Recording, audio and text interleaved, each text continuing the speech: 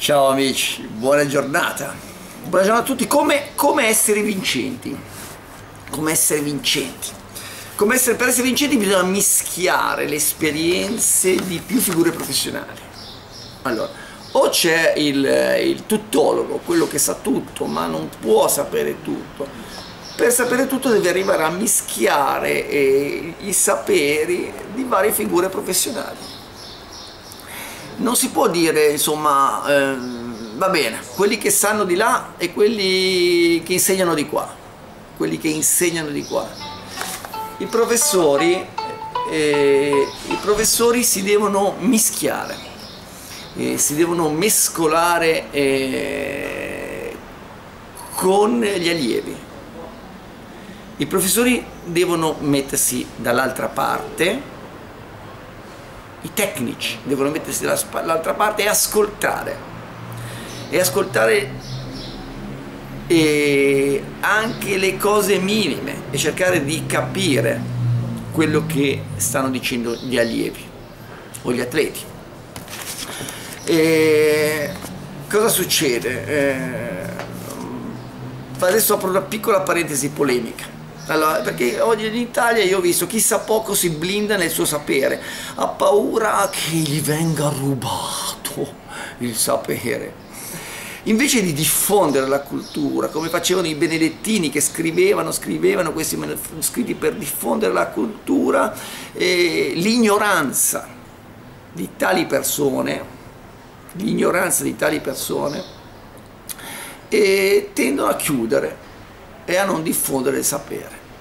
Certo che eh, io, diciamo così, mi, qualche volta mi sono sentito un po' vittima di questo sistema. Ho cercato, eh, sia come tecnico che anche da, da alte cariche del, della, della federazione, mi sono sentito un pochino vittima del sistema. E, alla lunga secondo me arriverà un giudizio per tutti.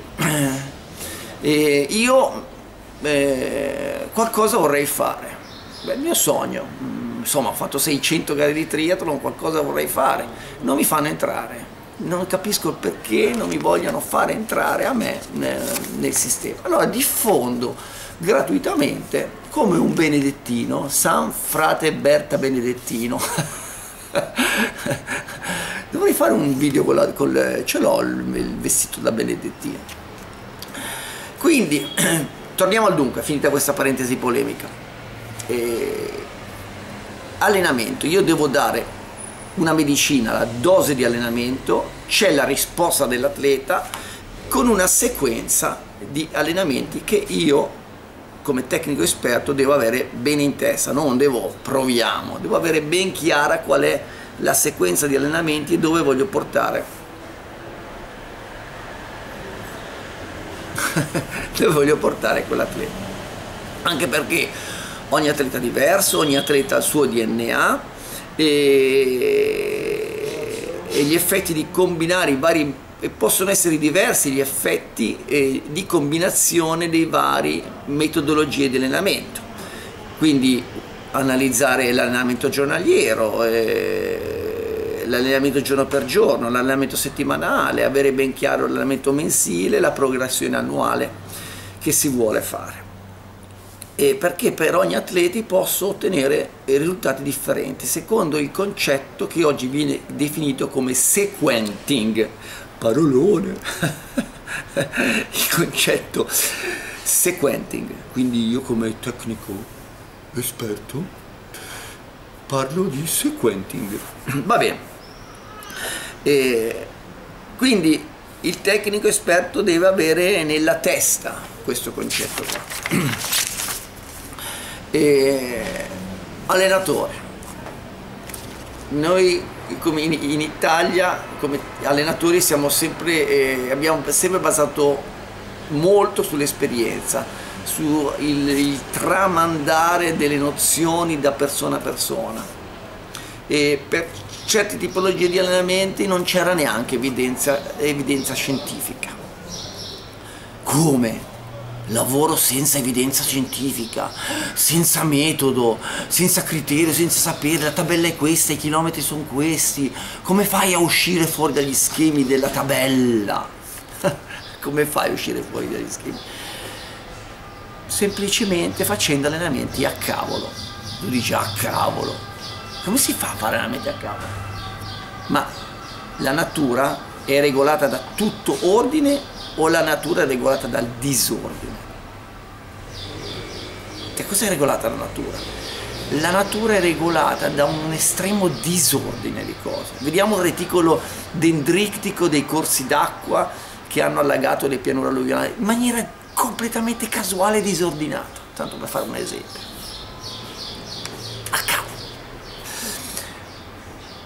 E quindi eh, se la natura è regolata da disordine, per certe persone è un caso arrivare a vincere la medaglia olimpica. Sì, ci sarà allenamento, ci sarà quello che vuoi, la preparazione dietro, ma ci sarà stato anche qualche disordine che gli ha permesso eh, di arrivare a quell'evento in maniera disordinata e di vincere la medaglia olimpica.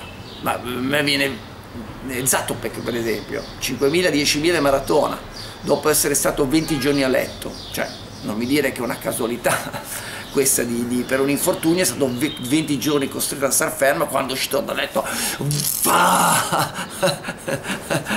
c'era l'energia che gli esplodeva anche fuori dai capelli. E la voglia di fare. È riuscito in quei pochi giorni di riprendersi e di arrivare pimpante per vincere tre medaglie olimpiche perché in maniera disordinata prima ha esagerato e si è rotto quindi eh, certe volte eh, si, sì, si lavora sulle evidenze scientifiche, certe volte no. Perché importante che l'allenatore eh, deve prendere delle decisioni che hanno un effetto sul carico dell'atleta. Quindi l'allenatore ha una grande responsabilità. Certe volte l'atleta non l'ascolta e, e a me capita nelle persone che vogliono fare lunghe distanze che questi fanno sempre troppo, fanno sempre troppo e non scaricano tendenzialmente. Sento anche il girasole e metto cos'è che sbagliano i tuoi atleti? Fanno sempre troppo, anche il gira mi ha detto questo suo commento in due parole, sintetico, ermetico e sempre fantastico. Ciao Federico. E, um, purtroppo in Italia eh, più sai, ma non in Italia, nel mondo, almeno io, nella cultura, più sai e meno sai, come diceva Fabio Vedana. Quando ha cominciato a sapere le cose si è reso conto quanto poco sapeva. E più sai, meno sai. E, e, e bisogna avere sempre fame. Stay angry, stay foolish. Devi avere sempre fame e non berti tutto quello che ti dico. Vabbè, andiamo avanti. Allenamento, una cavolata fai il riscaldamento, fai il corpo d'allenamento e fai il, il defaticamento. Tutto lì, no? Che ci vuole? L'importante è come, con cosa mettere dentro e come combinare l'allenamento mm. con la forza e la resistenza. Con la forza e la resistenza? Se sono cose due, eh, sono biologicamente incompatibili, la forza e la resistenza. Perché io devo allenare forza e resistenza assieme? Sì, sono biologicamente incompatibili, ma abbiamo visto che ci hanno dato risultati tangibili. Eh? Ancora oggi questo allenamento è un argomento molto dibattuto, eh? non ci sono proprio evidenze scientifiche su quanta forza, quanta resistenza, eh, ancora non è stato dimostrato, però come diceva William Shakespeare, andiamo avanti così senza indugio. Se funziona andiamo avanti. Andiamo avanti ad allenarci con eh, sangue, sudore e lacrime. Quindi lacrime che possono essere lacrime di felicità, di emozione, di fatica ma sempre emozioni fortissime. Ci dà questo magico mondo dello sport. E in più oltre all'allenamento che cosa cambia? la fame la fame che ogni atleta deve avere, l'IVA, l'IVA il 20%, il 22% in più che differenzia un atleta eh, da un altro, quel 20% in più eh, che gli fa fare qualcosa in più nell'allenamento, quella determinazione, quella voglia, quella fame, quel desiderio. E se, se, sei troppo agiato, ricco, stai bene, non ce l'hai questa fame, non, non c'hai questa voglia di raggiungere il più. Forse per quello che io sono ancora qui. Pensateci. Quindi eh, la performance, che cos'è la performance? Quindi la performance è l'allenamento più eh, la fatica. Allenamento più fatica che l'atleta può fare, diversa da ogni atleta. La prestazione che cos'è? Che cos'è la prestazione? Da cosa dipende? Dal metodo di allenamento, dai mezzi che ho a disposizione e, e, e dall'allenamento posso allenarmi in piscina, ho la palestra, posso utilizzare tutti gli esercizi particolari, macchine particolari per fare un certo tipo di allenamento? E, e quindi il programma non si può fare come ho fatto un video sulle tabelle di allenamento. Eh, non puoi fare una tabellina e tanti saluti. Il programma è da adattare continuamente da personalizzare per ogni atleta e chi ha avuto la fortuna di seguirmi sa quanto io ci tengo nella personalizzazione dell'allenamento e nel reciproco scambio di sensazioni, di emozioni, di, di fatica, di tipologia di allenamento, come stai, come hai fatto e quindi avere è questo, l'estrema personalizzazione per me, l'allenamento. Di che cosa? Di un sistema aperto. Matematicamente l'allenamento è un sistema aperto. Cos'è un sistema aperto dal punto di vista matematico? Io so come risolverlo, cambio le variabili per arrivare a una soluzione. Questo è un sistema aperto. Io cambio le variabili per arrivare sempre a una soluzione del mio sistema. Eh, quindi non ho dei, dei, dei punti fissi nell'allenamento, ho delle variabili che io cambio in continuazione per arrivare a vincere a vincere o a stare bene, a stare in salute e a essere sereno. A stare in salute e a essere sereno. Questa è la cosa più importante poi. E, e farlo divertire l'atleta, deve sempre divertirsi. Allora, quindi L'allenatore cosa deve fare? Deve controllare l'allenamento, saperlo regolare, saperlo cambiare in continuazione, analizzare come sta l'atleta, le risposte biologiche, fisiologiche, soprattutto per evitare l'overtraining, perché con l'overtraining poi l'atleta deve stare fermo una settimana, 10 giorni, 20 giorni, sei completamente bollito, non vai più avanti. Quando chi ha fatto sport, e questa è la differenza, quando vai anche a seguire dei corsi, no? S- senti nella persona che parla la differenza se uno che ha studiato o se uno che ha praticato. È veramente, veramente una differenza allucinante, io la trovo questa, nel, nel, nel sentire la differenza di chi spiega, di chi si è sporcato le mani oppure chi ha solo eh, bagnato il dito per girare la pagina. Questa è mia. Eh. Allora, riscaldamento, eh, poi devo fare un allenamento intenso se no non c'è miglioramento e defaticamento. Eh, la forza, la forza eh, massima. Cos'è? Perché è importante andare a stimolare la forza nel, nel, nel, nel riscaldamento? Perché predisponi le fibre alla fatica. Fare dei piccoli richiami sulla forza massima vai a, a predisporre le fibre alla fatica, quindi la forza massima la puoi andare a allenare nel, eh, nel riscaldamento, nell'allenamento, nel defaticamento. Quando andrà la, la, la, forza massima? Certo, si sa che il riscaldamento che cosa, che cosa ti aiuta il riscaldamento? Il riscaldamento ti favorisce un aumento della temperatura corporea, mm? Beh, se non sei in ambiente troppo caldo, perché sennò lì dovresti fare il raffreddamento. Quindi eh, favorisce un aumento, una, una, temperatura corporea maggiore favorisce un aumento degli scambi gassosi e intra-extracellulari e, e, quindi come deve essere fatto il riscaldamento? Ha una certa, una certa intensità e progressivo, quindi un'intensità progressiva, quindi da lento a salire, andare su forte. E Per esempio, ti facciamo subito un esempio. Se tu eh, tiri su dei, eh, del, dei, tiri su dei pesi, mh? Hm? poi eh, sollevi un secchio d'acqua, il secchio d'acqua ti sembra più leggero, eh? È normale. Quindi se tiri su dei pesi, poi eh, devi sollevare un secchio d'acqua, ti sembra più leggero. Quindi questo ti fa capire eh, con questo semplice esempio che cosa può servire il richiamo sulla forza massima.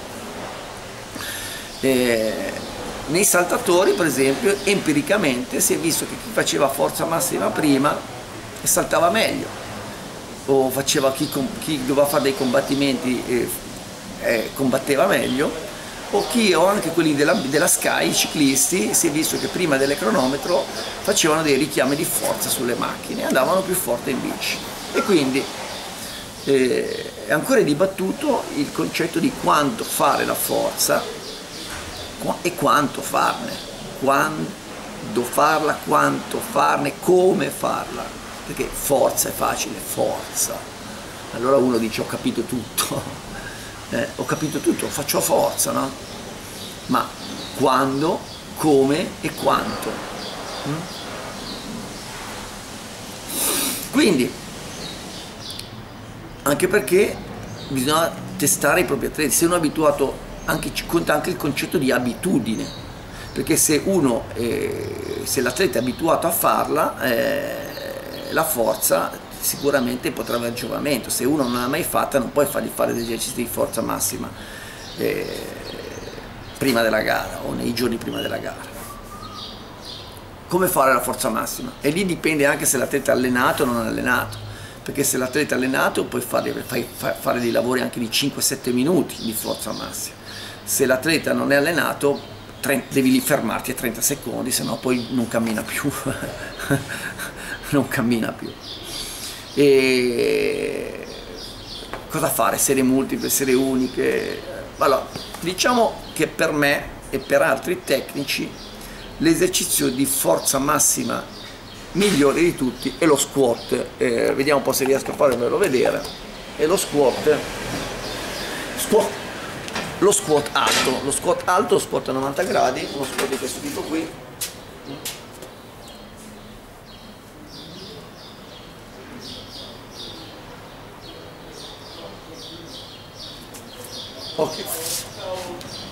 e quindi siamo passati anche dalla dalla teoria alla pratica. Lo squat alto fatto uno in punta di piedi perché così lavora tutta la catena muscolare posteriore dal polpaccio, eh, quadricipite, bicipite femorale e gluteo dinamico, non andare tutto su e neanche tutto giù e, e quindi questo squat alto ti permette di svegliare tutto il sistema. E favorisce eh, l'attivazione e il miglioramento. Quindi anche cosa si potrebbe fare? Una, delle corse tecniche nel riscaldamento balzate per usare bene i distretti mescolari che ti serviranno poi nel gesto tecnico della corsa quindi eh, fare della tecnica di corsa eh, molto di qualità che però lavori sulla forza, quindi sulla reattività e sulla forza, sulla forza esplosiva e dinamica del piede. E... Funziona la forza prima di una gara? Funziona la forza prima di una gara? Ma allora, eh, sì, si sa che funziona, ma non ci sono, non ci sono eh, eh, eh pubblicazioni eh, eh, scientifiche chiare, credo che qualcuno, qualcuno, dice di sì, qualcuno, qualcun altro è contrastante. E si sa che la forza, che cosa cambia? Cambia la modalità di reclutamento delle fibre. Le fibre possono essere più reattive o meno reattive. Eh. e quindi cambia questa modalità di reclutamento. Sappiamo che lo stretching si fa o non si fa? Ultimamente lo stretching è stato bandito. Negli anni 80 quando facevo, mi allenavo io, negli anni 80 solo stretching, dei mare di stretching prima della gara, stretching, io mi sfasciavo di stretching prima della gara. E adesso da un periodo, da un anno all'altro, è stato abbandonato. Quindi vediamo come cambiano eh, le tipologie di allenamento. Eh, si, gli hanno detto sì, lo stretching ha un effetto depotenziante eh, sui test fatti, l'atleta salta meno, però anche lì vedere che tipo di stretching fare, uno stretching statico, dinamico, le conclusioni, eh, lo stretching dinamico fatto 6 secondi potrebbe avere dei risultati positivi, certo, bisogna vedere sempre l'atleta, se l'atleta si, si, sente meglio per, per come fa un certo tipo di stretching, e allora se, se, si sente meglio lo può fare. L'importante è che il giorno della gara non si facciano novità come spesso si vede fare a certi atleti che non hanno mai fatto niente, si vede fare degli esercizi stranissimi, movimenti di braccia frenetiche, eh, cose incredibili, tanto per, non so, è quasi per mettersi in mostra il giorno della gara, quindi no, nulla, nulla di tutto questo. Beh, cosa si è visto? si è visto comunque che eh, eh, se tu fai stretching e poi fai, questo è un dato scientifico, e poi accoppi eh, degli esercizi di skip e di forza, e praticamente lo skip e la forza annullano gli effetti negativi dello stretching. Questo è interessante. Eh? Degli esercizi di skip e di forza vanno ad annullare l'effetto negativo prestato dallo stretching. Quindi, e quindi, attenzione, l'effetto negativo dello stretching va via in poco tempo. Questa è una cosa interessante eh, da, da, da, trasmettere ai tecnici. L'effetto negativo dello stretching va via in poco tempo. E, e quindi palestra. Uno va in palestra come allenarsi in palestra? Per gruppi muscolari. Io quello che consiglio è lavorare prima sull'addome e poi passare ai bicipiti, ai, ai quadricipiti, bicipiti femorali e poi passare ai polpacci se vuoi fare dei, dei lavori di, di, potenziamento di forza. Quindi spostarti dall'addome, dal centro verso la periferia e, e, e, allo stesso modo anche se vuoi fare esercizi eh, sulle braccia. E... Beh,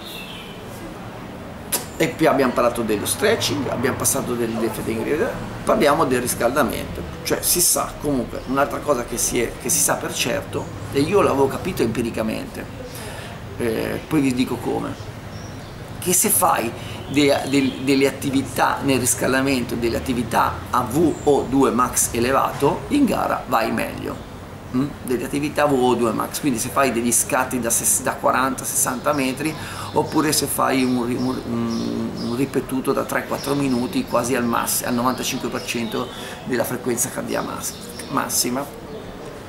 E si sa per certo che in gara vai meglio. Io questo me ne ero accorto come? Quando facevo eh, periodicamente il mio lavoro in pista vedevo che il, il che ne so, i mille, facciamo tanto per fare l'allenamento di finitura stagionale, pre-gara. Quando facevo i mille, il primo mille lo faticavo sempre, dicevo cavolo, il primo mille sono quei 5-6 secondi più lenti. E poi il secondo, terzo, quarto, eh, quinto mille riuscivo a correre bene. Allora, diciamo i due tempi quanto li facevo in mille. Io facevo il top della mia forma, facevo i 6, facevo, sono arrivato a fare un 6 per 1000 a 2,47, 2,48, 2,47, 2,48, eh, sotto i 3 al, chilometro eh, ampiamente, recupero lungo 4 minuti, 4-5 minuti.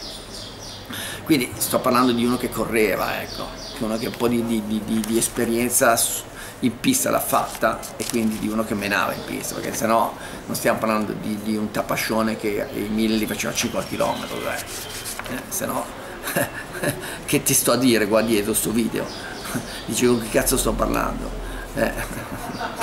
quindi eh, un altro test interessante eh, è stato fatto con diversi atleti sono stati fatti fare 30 secondi al massimo 4 minuti di riposo altri 30 secondi al massimo in questo tipo di, di, di esercitazione si è visto che eh, il primo test è andato più forte del secondo test perché eh, nel, eh, com, come, come, come, lavoro all'attacido aerobico, mentre il lavoro aerobico dopo questo test è migliorato del 50%. Quindi capiamo bene come fare un, un lavoro massimale mi aiuti poi a predisporre l'atleta al lavoro aerobico. Bong! Quindi dopo questa caduta andiamo alle conclusioni. Andiamo alle conclusioni e dicendo il defaticamento si fa o non si fa il defaticamento? Sì o no? E un tempo si diceva il defaticamento favorisce il, il recupero e quindi non si deve fare eh, perché favorisce il compenso muscolare, io invece l'organismo lo devo stressare, lo devo portare allo stress e quindi non devo fare assolutamente il defaticamento, perché devo stressare l'organismo. Okay, se favorisco il recupero non va bene. E che cosa, cosa capita nel, nel, nel defaticamento? Capita che io porto all'equilibrio la sudorazione, perché dopo un lavoro intenso ho sudato un casino, quindi porto all'equilibrio più lentamente la mia sudorazione del corpo, porto lentamente un equilibrio cardiaco del corpo e quindi potrebbe essere bello fare il defaticamento utile. E uno studio, pensate, eh, Willow, Willow, vabbè io non è che non me lo ricordo il nome, però uno studio del 2018, pensate, diciamo molto recente, ha dimostrato che il defaticamento migliora la soglia anaerobica eh? e migliora il lavoro aerobico.